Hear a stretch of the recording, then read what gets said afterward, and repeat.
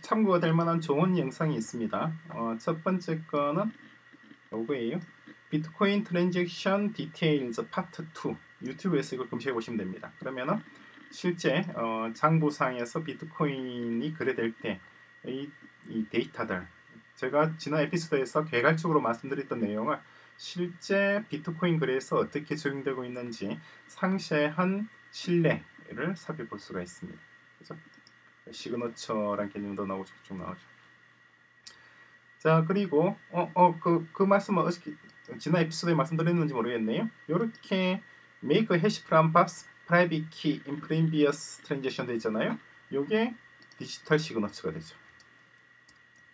요게 밥의 디지털 시그너처입니다.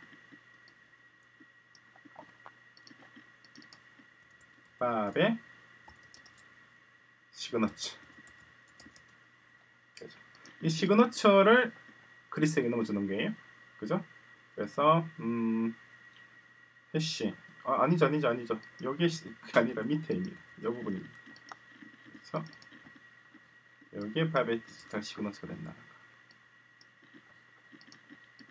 그 시그너처를 던져주는 거예요. 시그너처를 받아가지고 그걸 가지고 그 signature를 decipher 하게 되면은 음, decrypt 하게 되면은 밥의 public key transition 여기 있던 밥의 public key가 튀어나오게 됩니다. 이해되시죠?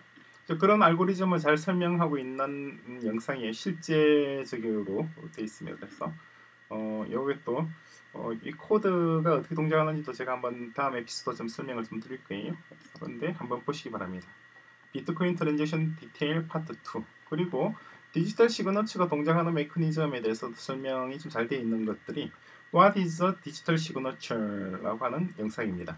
영상이고 이건 누가 했느냐니까 작성자 또 볼까요? Sunny Classroom Sunny Classroom 예, What is a digital signature? 이것도 5분 정도 짤막한 영상인데 디지털 signature가 동작하는 메커니즘을 굉장히 요약을 좀 잘 해놨어요. 그리고 또한 이 뭐라고 해야 되나 elliptic curve 곡선을 이용해서 실제 이번엔 Python 코드를 이용해서 어, 요 elliptic curve 특히 elliptic curve에서 어떤 public key와 private key를 도출하는 과정을 잘 설명하고 있는 영상입니다. 블록체인 tutorial 11이죠. elliptic curve key pair key pair generation입니다. 상당히 좋죠. 순서로 보신다 그러면 요거부터 먼저 보시고 What is digital signature 보시고 다음에 이어서 이걸 보시고 비트코인 transaction details 파트 2. 뭐 좋다면 파트 1도 같이 보시면 좋습니다.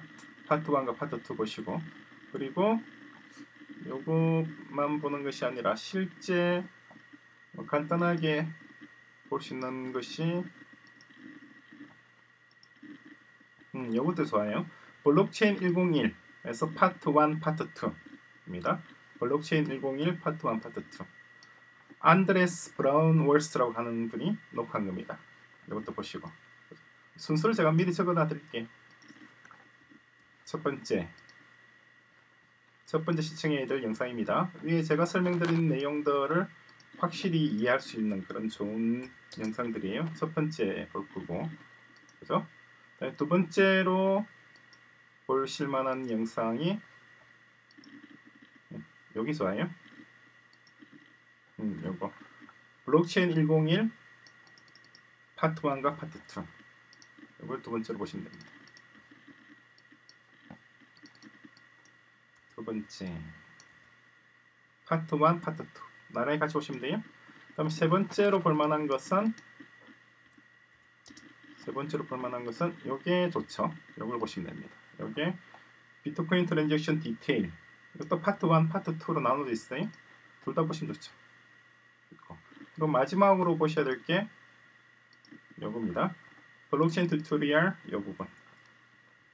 네 번째입니다. 순서대로 보시면 됩니다. 난이도별로 제가 나눈 거예요. 지난 에피소드에서 제가 설명드렸던 내용과 어, 그걸 상기하면서 요 네 개를 다 보시게 되면 어, 전반적으로 비트코인이나 블록체인의 디지털 시그너처와 일렉틱 커버가 동작하는 메커니즘을 정확히 이해하실 수가 있습니다.